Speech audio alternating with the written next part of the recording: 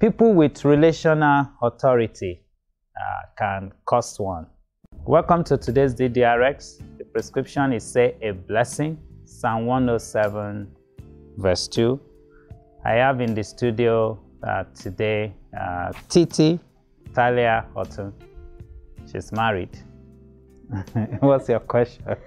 okay, so my question is Can one spouse curse them? Hmm.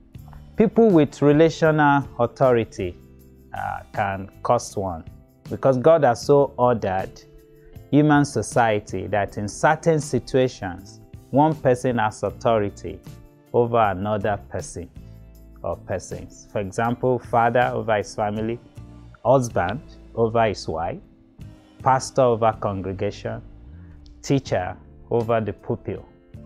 So Jacob cursed Rachel, his wife, in the Bible. Things this happened after Jacob fled with his wives and belongings from Laban, his father-in-law. So Rachel stole her father's household gods. First of all, Laban shouldn't have had household gods. And secondly, Rachel shouldn't have stolen them. so Laban was angry. Jacob, not knowing Rachel has stolen the household god, placed a curse in Genesis 31 32. With whom, whomever you find your gods, do not let him live. In the presence of our brethren, identify what I have of yours and take it with you. For Jacob did not know that Rachel had stolen them. Do you know Rachel died during childbirth?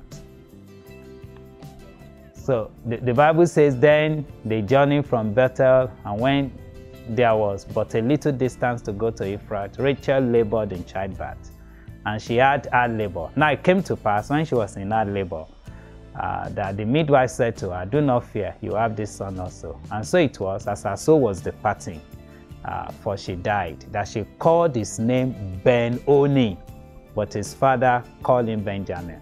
So Rachel died and was buried on the way to Ephrath, and that is Bethlehem. And Jacob set a pillar on her grave, which is the pillar of Rachel's grave to this day. But, but it's interesting that in 1 Samuel 10, verses 2 to 3, Samuel, somebody with relational authority again, broke this curse in Saul's life because Saul is from the tribe of Benjamin. This is what the Bible says When you have departed from me today, you find two men by Rachel's tomb in the territory of Benjamin at Zelzah. And they will say to you, The donkeys which you went to look for have been found.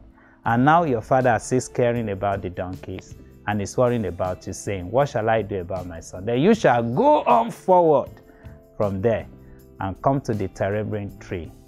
So Samuel was able to break that curse. It's like a generational curse, like a limitation in the tribe of Benjamin. Let's say blessing together in Daniel 6:27. God delivers and rescues, and he works signs and wonders in heaven and on earth. Who has delivered Daniel from the power of the lions? That same God will deliver you. God bless.